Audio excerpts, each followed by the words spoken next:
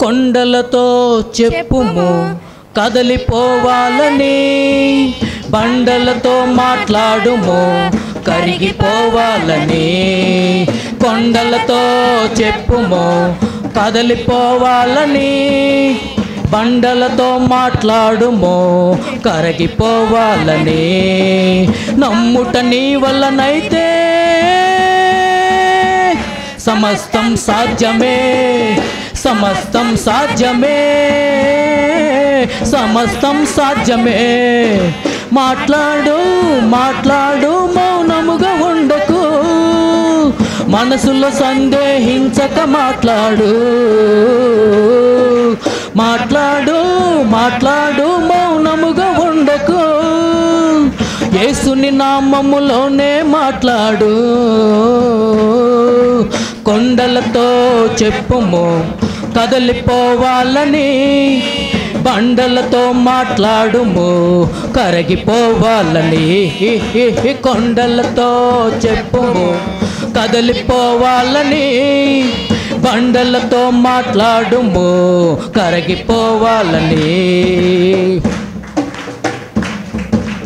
ఏసయ్య ఉన్న దోణి పైన తుఫాను కొట్టనే ఏసయ్యతోనే అమరమున నిద్రించుచుండనే.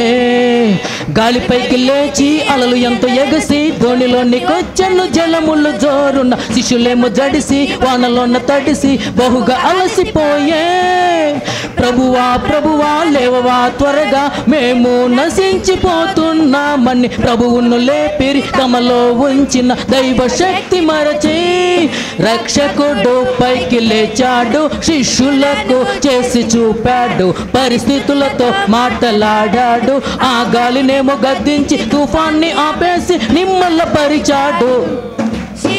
నందు తేరి చూచాడు. విశ్వాసం ఎక్కడన్నాడు? అధికారం వాడమన్నాడు. ఇక మనమంతా ప్రభులాగా చేసేసి గెలిచేసి ప్రభుని స్థుతిద్దాము జై జై జై జై జై జై జై జై. ఈసు మహికి జై యేసుకి జై జై జై. ప్రభువుకి జై జై జై. అందరూ. జై జై జై జై జై జై జై జై. యేసు మహికి జై యేసుకి జై జై జై. ప్రభువుకి జై జై జై. మాట్లాడు. మాట్లాడు మాట్లాడు మౌనముగా ఉండకు. మనసులో సందేహించక మాట్లాడు. మాట్లాడు మాట్లాడు నామములోనే మాట్లాడు. కొండలతో చెప్పుము కదలిపోవాలని బండలతో మాట్లాడుము కరిగిపోవాలని కొండలతో చెప్పుము కదలిపోవాలని బండలతో మాట్లాడుము కరిగిపోవాలని పరలోక రాజ్య తాళాలు మన చేతికిచ్చనే పాతాల లోక ద్వారాలు నిలువ నేరవననే కన్నులెత్తి చూడు తెల్లవారి పైరు కోతకొచ్చి నిలిచెను మనకై నేడు. వాక్యముతో కదిలించిన చాలు కోత పండగేలే. కాపరిలేని గొర్రెలు వారని కనికర పడను ప్రభువు నాడు. క్రీస్తుని కనులతో చూద్దామా? తప్పిపోయిన ప్రజను ప్రభులాగా వారిని ప్రేమిద్దాం. సాతాను క్రియలు బంధిద్దాం. విశ్వాస వాక్కు పలికేద్దాం. ఇక ఆ తండ్రి చిత్తాన్ని ఏసయ్యతో కలిసి సంపూర్తి చేద్దాం. పరలోక రాజ్య ప్రతినిధులం తాళాలు ఇంకా తెరిచేద్దాం. ఆత్మలను లోనికి నడిపిద్దాం. ఇక సంఘంగా ఏకంగా పాడేద్దాం. అందంగా ఈ సుమహికి జై. జై జై జై జై జై జై జై జై ఈ సుమహికి జై యేసుకి జై జై జై ప్రభువుకి జై జై జై యేసుకి జై జై జై ప్రభువుకి జై జై జై మాట్లాడు మాట్లాడు మౌనముగా ఉండకు మనసులో సందేహించక మాట్లాడు మాట్లాడు మాట్లాడు మౌనముగా ఉండకు. యేసుని నామములోనే మాట్లాడు. కొండలతో చెప్పుము కదలిపోవాలని. కొండలతో మాట్లాడుము. కరిగిపోవాలని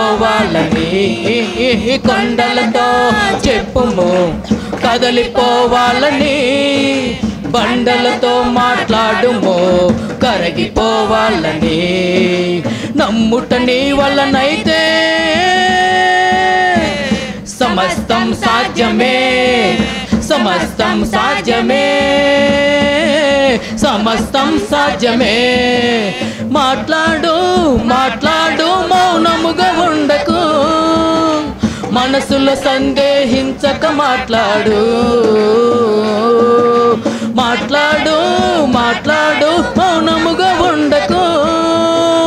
యేసుని నామములోనే మాట్లాడు.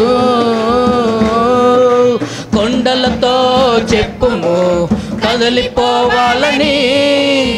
బండలతో మాట్లాడుము కరిగిపోవాలని. కొండలతో చెప్పుము కదిలిపోవాలని. బండలతో మాట్లాడుము కరిగిపోవాలని. క్రీస్తునందు ప్రియ దేవుని పిల్లలారా Centenary Baptist Church CBM Baptist Church సంఘ కాపరి reverend doctor Y Danny Chandrapal. అందరికీ హృదయపూర్వక వందనాలు తెలియజేస్తూ ఉన్నాను. ఈ సమయంలో పరిశుద్ధ గ్రంథంలో నుండి ఒక చిన్న మాట గురించి మనం ధ్యానం చేద్దాం. యోహాన్ రాసిన మొదటి పత్రిక. మూడు నాలుగులో ఈ రీతిగా వ్రాయబడి ఉన్నది ఆజ్ఞాతి క్రమమే పాపము అని. ప్రియ దేవుని సంగమా ఈనాడు దేవుడు ఆదాము హవ్వలకు ఒక ఆజ్ఞ ఇచ్చాడు. మీరు ఏదైనా తోటలో ప్రతి వృక్ష ఫలాన్ని నిరభ్యంతరంగా తినవచ్చు. కానీ ఈ తోట మధ్యలో మంచి చెడ్డలు తెలివినిచ్చు వృక్షం అనేది ఒకటి ఉన్నది ఆ పండు మీరు తినకూడదు. మీరు తినుదినమున నిశ్చయముగా చచ్చెదరని ఆదామునకు హవ్వకు దేవుడు హెచ్చరిక చేశాడు. ఒకరోజు ఏం జరిగిందంటే ఏదైనా తోటలో సర్పము ప్రవేశించి సాతాను ప్రవేశించి హవతో మాట్లాడటం మొదలుపెట్టింది. మీరు ఏదైనా తోటలో ప్రతి వృక్ష ఫలాన్ని తింటున్నారు? అయితే ఈ తోట మధ్యలో ఉన్న ఈ చెట్టు ఫలాన్ని మీరు ఎందుకు తినటం లేదు అని అడిగారు. ఆ పండు తింటే చనిపోతారు అని దేవుడు మాకు చెప్పాడు అని హవ్వ సాతానుతో మాట్లాడినట్టుగా మనం చూస్తూ ఉన్నాం. క్రీస్తునందు ప్రియా దేవుని వెళ్ళారా అప్పుడు సర్పం అంటది మీరు చావనే చావరు. దేవుడేమో చచ్చిపోతారని ఆజ్ఞాపించాడు. సర్పమేమో మీరు చావనే చావరు అంటుంది. ఎప్పుడైతే ఈ రీతిగా వారి మధ్య సంఘర్షణ జరిగిందో హవ్వ ఆ పండును తీసుకొని తిన్నది. తినటమే కాదు ఆదాములకు కూడా ఇచ్చింది. అప్పుడు వారు దిగంబరులము అని తెలుసుకున్నారు. ఈ తెలుసుకున్న విధానాన్ని బట్టి రోజు దేవుడు చల్లపోటను వచ్చి వారితో ముచ్చట్లు చెప్పేవాడు. ఈరోజు కూడా ఆయన వచ్చే టైం అయింది. తీర చూస్తే ఆదాము హోవలు కనపడలా. ఆదాము చెట్టు చాటున ఉన్నాడు. అప్పుడు ప్రభు ఒక మాట అన్నాడు. ఏమన్నాడంటే ఆదామా నీవు ఎక్కడ ఉన్నావు? అన్నాడు. అయా తోటలో నీ స్వరం వినబడినప్పుడు నేను భయపడి దాగుకుంటుని అన్నాడు. ఎందుకు భయపడ్డావు? ఎందుకు దాక్కున్నావంటే అర్థమైపోయింది దేవునికి తినవద్దన్న పండుని తిన్నాను ఎందుకు తిన్నావని ఆదాముని అడిగాడు దేవుడు. ఇదిగో నీవు నాకు ఇచ్చిన హవ్వ ఇవ్వగా నేను తిన్నాను అని అన్నాడు. రెండవదిగా హవ్వను అడిగాడు ఎందుకు తిన్నావు నువ్వు? తినవద్దన్న పండినట్టు సర్పం నన్ను మోసపుచ్చింది కనుక నేను తిన్నాను అని అన్నది. ఈ రీతిగా ఒకరి మీద ఒకరు నిందలేసుకున్నారు. ఒకరి మీద ఒకరు నిందారోపణ చేసుకున్నారు. అయితే ప్రియ దేవుని బిడ్డలారా మనం గమనించినట్లయితే ఈ నిందారోపణలు అనేవి సరి అయినవి కావు. కారణం ఏంటంటే దేవుడు వారి విషయంలో శపించాడు. తినవద్దన్న పండును తిన్నారు. దేవుని యొక్క ఆజ్ఞను అతిక్రమించారు. తద్వారా వాళ్ళు శాపగ్రస్తులయ్యారు. శాపగ్రస్తులు అవడమే కాదు ఏదేను తోట నుండి బయటికి వెళ్ళగొట్టబడ్డా కనుక ప్రియ దేవుని సంగమా ఆదామును శపించి నీవు జీవితాంతం కూడా నేలను సేద్యపరిచి నీవు ఆహారం తిందు అన్నాడు. హవను దేవుడు శపించాడు. నీవు పిల్లలను వేదనతో కంటావు అని శపించాడు. సర్పమును కూడా శపించాడు. వీళ్ళని మోసగిచ్చి ఆ తినవద్దన్న పండుని తినిపించింది కదా. సర్పమును మోసగించి నువ్వు బ్రతుకాలం అంతా కూడా. మన్నే తిని బ్రతుకుతావు అని అన్నాడు. కనుక దేవుని మాట వినకపోవటం దేవుని ఆజ్ఞను గైకొనకపోవటం అనేది పాపము అని రాయబడి ఉన్నది. కనుక ఆజ్ఞాతిక్రమమే పాపం. ఏ ఆజ్ఞ అయితే దేవుడు ఇచ్చాడో పాపం అని చెప్పాడో రోమ ఆరు ఇరవై మూడులో ఏముందంటే పాపం వలన వచ్చు జీతం మరణము అని అందుకనే ఎవరైతే పాపం చేస్తున్నారో వాళ్ళందరూ కూడా మరణిస్తూ ఉన్నారు మరణిస్తూ ఉన్నారు. క్రీస్తునందు ప్రియ దేవుని బిడ్డలారా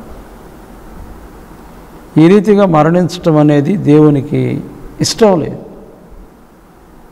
ఇష్టం లేదు కనుక ఏం చేస్తున్నాడంటే దేవుడు మరొక ఆజ్ఞని ఇచ్చాడు. ఏ ఆజ్ఞ అయితే అతిక్రమించారో పాపం చేశారో చనిపోతూ ఉన్నారో వారిని బ్రతికించడానికి మరొక ఆజ్ఞని ఇచ్చాడు. ఆ ఆజ్ఞ ఏంటంటే అపోస్తుల కార్యముల గ్రంథము పదిహేడు ముప్పైలో ఆ అజ్ఞాన కాలములను దేవుడు చూచి చూడనట్టుగా ఉన్నాడు. ఇప్పుడైతే అంతటను అందరూ మారు మనసు పొందవలనని మనుషులకు ఆజ్ఞాపించాడు. ఏ ఆజ్ఞనైతే అతిక్రమించి పాపం చేసి దేవునికి దూరం అయిపోయారో మరొక ఆజ్ఞనిచ్చి ఆయన బ్రతికించుకొని తన హక్కున చేర్చుకునే విధంగా వారిని బ్లెస్ చేశాడు దీవించాడు. కనుక ప్రియ దేవుని సంగమా విశ్వాసులారా మీరందరూ కూడా దేవుని యొక్క ఆజ్ఞను అతిక్రమించకూడదు. రెండవదిగా మనం గమనించినట్లయితే పాపము అంటే ఏమిటో రాయబడి అన్నది సమూహలు మొదటి గ్రంథం ఇరవై పన్నెండో అధ్యాయం ఇరవై మూడో వచ్చిన అక్కడేమని ఉందంటే మీరు ఇతరుల కొరకు పొరుగు వారి కొరకు ప్రార్థన చేయకపోవటమే పాపం. అందుకని యాకోబు రాసిన పత్రికలో ఒకరికొకడు ప్రార్థన చేసుకొనుడి అని రాయబడి ఉన్నారు కనుక ప్రియ దేవుని బిడ్డలారా దేవుని యొక్క వాక్యం హెచ్చరిస్తూ ఉన్న మాట మనం గమనించినట్లయితే ప్రతి ఒక్కరు కూడా ఆలోచన చేసినట్లయితే ప్రభు మనతో మాట్లాడుతున్నాడు. దేవుని యొక్క వాక్యం మనల్ని హెచ్చరిక చేస్తాము. ప్రియా దేవుని బిడ్డలారా పాపం. ఈ లోకంలో యేసుప్రభు వారు ముప్పై మూడున్నర సంవత్సరాలు జీవించాడు. మూడున్నర సంవత్సరములు సేవ చేశాడు. ఈ మూడున్నర సంవత్సర కాలంలో ఆయన యందు ఏ పాపము కనబడలేదు. ఆయన పాపం చేయలేదు. అదే రీతిగా లేఖన భాగంలో ఆయన చెప్పే మాట యోహాన్ రాసిన సువార్త ఎనిమిది నలభై ఆరులో ఒక మాట అన్నాడు. నా ఎందు పాపం ఉన్నదని మీలో ఎవడు స్థాపిస్తాడు రుజువు చేయగలడు. నిజమే ఎందుకంటే ఆయన ఈ లోపంలో జీవించినప్పుడు ఏ పాపమును చేయలేదు ఏ కపటమును ఆయన ఎదుట కనబడలేదు. కనుక ప్రియ దేవుని సంగమ పాపం అనేది చాలా భయంకరమైనది. ఆ పాపానికి శిక్ష అనేది ఇంకా అతి భయంకరమైనది. కనుక పాపం చేసి మనం తప్పించుకోలేము పాపం చేసి దేవుని సన్ని సన్నిధి నుండి పారిపోయిన బిడ్డలు ఎంతోమంది ఉన్నారు. తప్పు చేసి. అట్లాగా మనం ఉండకూడదు. మనం ప్రతి విషయంలో కూడా దేవునికి దగ్గరగా జీవిస్తూ ఆయన కోసం మనం బ్రతికే వారంగా ఉండాలి.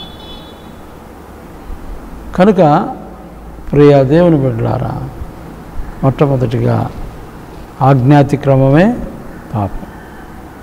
రెండవదిగా నీ పొరుగు వానిని ప్రేమించకపోవడమే వారి కొరకు ప్రార్థన చేయకపోవడమే పాపం. ఇక మూడవదిగా మనం గమనించినట్లయితే బైబిల్లో ఈ రీతిగా వ్రాయబడి అన్నది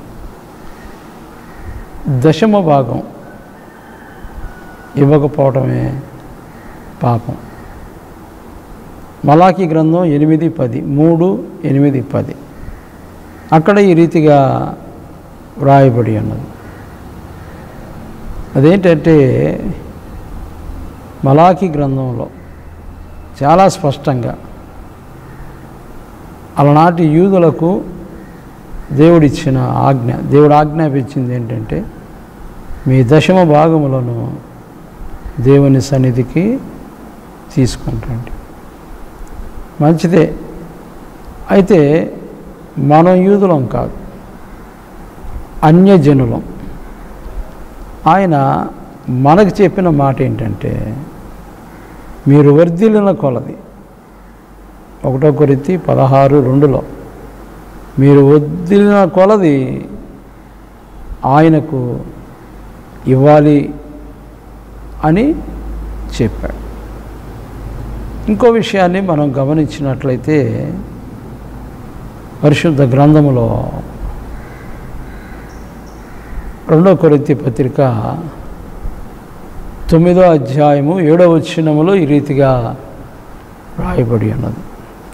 సనుగు కొనకయు బలవంతముగా కాకయు హృదయములో నిశ్చయించుకునే ప్రకారం ఇవ్వలను ఉత్సాహముగా ఇచ్చువానిని దేవుడు ప్రేమించును. చీర్ఫుల్ గివర్ ఉత్సాహంగా ఇవ్వాలి దేవునికి. దేవునికి ఉత్సాహంగా ఇవ్వాలి. మరి ఈనాడు మనం కానుకలనే ఇయ్యలేకపోతా ఉన్నాం. దేవుడు మనకిచ్చిన సంపాదనలో మనం ఇయ్యలేకపోతా ఉన్నాం. ఎంతోమంది ఇచ్చి దేవుని దీవెనలు పొందారు. ఇంకా ఇంకా మనం గమనించినట్లయితే పాత నిబంధన కాలంలో అబ్రహామును అబ్రహాము తన కుమారుడిని ఇస్సాకును దేవునికి బలి ఇవ్వటానికి కూడా వెనకాడలేదు. అదే రీతిగా ఎఫ్తా కుమార్తె న్యాయాధిపతుల గ్రంథం పదమూడో అధ్యాయంలో ఉంటుంది. ఎఫ్తా కుమార్తె నిజంగా తనను కూడా ఎఫ్తా దేవునికి బలి ఇస్తాను అన్నాడు. ఆ రీతిగా ఆ దినాల్లో దేవుడు వారికి ఇచ్చిన బిడ్డల్నే దేవునికి బలి ఇవ్వటానికి సిద్ధపడ్డారు. ఈనాడు మనం కానుకలను ఇవ్వలేకపోతున్నాం. దేవుడు మనకి ఇచ్చిన దాంట్లో దేవునికి ఇవ్వలేకపోతున్నాం. బైబిల్లో సామెతల గ్రంథంలో న్యాయనైన సొలోమోన్ అన్నాడు. ఏమన్నాడంటే వెదజల్లి అభివృద్ధి పొందేవారు కలరు. వెదజల్లాలంట. మనం ఏం చేయాలి? దేవుడు మనకిచ్చిన దాన్ని వెదజల్లాలి. ఎవరికి ఎంత ఇవ్వాలో ఎవరికి ఏమి ఇవ్వాలో అనేది మనం ఆలోచన చేసి దేవునికి ఇచ్చే వారంగా ఉండాలి. వెదజల్లి అభివృద్ధి పొందేవారు కలరు. మరి ఎంతవరకు మనం వెదజల్లుతూ ఉన్నాం? ఎంతవరకు మనం మన హృదయంలో నిశ్చయించుకున్న దాని ప్రకారం ఇస్తూ ఉన్నాం? ఎంతవరకు మనం దేవుని యొక్క సన్నిధానంలో దేవుడు చెప్పినట్లు చేస్తూ ఉన్నాం. కనుక ఈ విషయాలన్నీ విని ప్రతి ఒక్కరూ కూడా ఆధ్యాత్మికంగా మేలు పొందాలి. దేవుణ్ణి అడిగితే ఇస్తాడు వెదిగితే దొరుకుతాడు తట్టితే తీస్తాడు.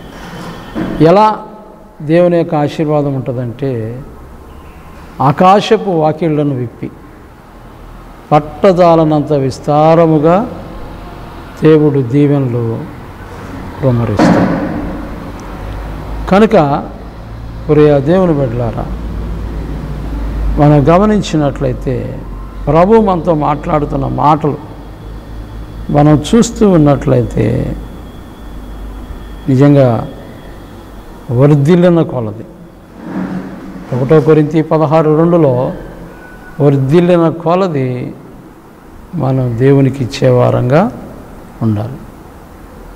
దేవుడు మనల్ని వర్ధిలనిస్తాడు అంతకంతకు వర్ధిల్లే వారంగా ఉంటాం. దేవునికి ఇవ్వాలి దేవుడు మనకి ఇవ్వాలి అప్పుడు నిజంగా దేవుని యొక్క ఆజ్ఞలు మనం గైకొన్న వారంగా దేవుని యొక్క ఆజ్ఞలు మనం విన్నవారంగా ఆయన ఆజ్ఞకు లోబడి భయపడి జీవించిన వారంగా ఉన్నాం. కనుక ప్రియ దేవుని బిడ్డలారా మనం గమనించినట్లయితే ప్రభు మనతో మాట్లాడుతూ ఉన్నాడు. ఎంతవరకు మనం దేవునికి ఇస్తూ ఉన్నాం? కొంతమంది దేవునికి సమయాన్ని కూడా ఇవ్వలేకపోతున్నారు. చాలా విచారం. ఇరవై నాలుగు గంటలు దేవుడు మనకి ఇచ్చాడు దాంట్లో రెండున్నర గంటలు దశమ భాగం అయితే రెండున్నర గంటలు కూడా మనం దేవునికి ఇవ్వలేకపోతున్నాం. దేవుని సన్నిధికి రాలేకపోతున్నాం. కనుక ఆ రీతిగా మనం ఉండకుండా ప్రభు యొక్క సన్నిధిలో ప్రతి నిత్యం కూడా ప్రభువుని స్తుతించి మహింపరిచే వారంగా ఉండాలి. దేవుడు ఈ మాటలు దీవించునుగాక. Centenary CBM Baptist Church Madannapet Sharadanagar సంఘ కాపరిగా టీవీ ప్రేక్షకులందరికీ నా తరపున మా కమిటీ తరపున స్త్రీల సమాజం తరపున యూత్ తరపున వందనాలు తెలియజేస్తూ ఉన్నాం. కనుక మీరందరూ కూడా ప్రార్థనలో ఏకీభవించండి. వాక్యాన్ని వినండి. దేవుడు చెప్పినట్లు చేయండి. దేవుడు మిమ్మల్ని ఆశీర్వదించను కాక ప్రార్థన చేసుకుందాం. ప్రభా మీకు స్తోత్రం నాయన. మీ దీవెనలు విస్తారంగా బిడ్డలు పొందుకుంటానికి సహాయం చేయండి. విస్తారమైన పాపములు క్షమించబడ్డాయి. ఆస్తికర్తలుగా చేశావు. అందును బట్టి మీకు వందనాలు మీ కృపలో జ్ఞాపకం చేసుకోండి పాపము అనే అంశాన్ని గురించి మేము మాట్లాడినప్పుడు ఆజ్ఞాతిక్రమమే పాపం. నిజమే నాయన? మీ యొక్క ఆజ్ఞలను అతిక్రమించకుండా మీరు ఏదైతే చెప్పారో దాన్ని మేము చేయగలుగుట కృప చూపించండి ఏసునామమున అడుగుచు నాన్న తండ్రి. ఆమె పరమ తండ్రి అయిన దేవుని యొక్క ప్రేమయు కుమారుడైన యేసుక్రీస్తు యొక్క కృపయు పరిశుద్ధాత్మని యొక్క అన్యోన్య సహవాసం. ఇప్పుడు ఎల్లప్పుడూ సదాకాలం మీ ప్రియ బిడ్డల కుటుంబాలకు. ఈ టీవీని చూస్తున్నా టీవీలో వాక్యం వింటున్నా టీవీ వాక్య పరిచయం ఆదరిస్తున్నా ప్రతి ఒక్కరికి తోడై నడిపించునుగాక. అమెన్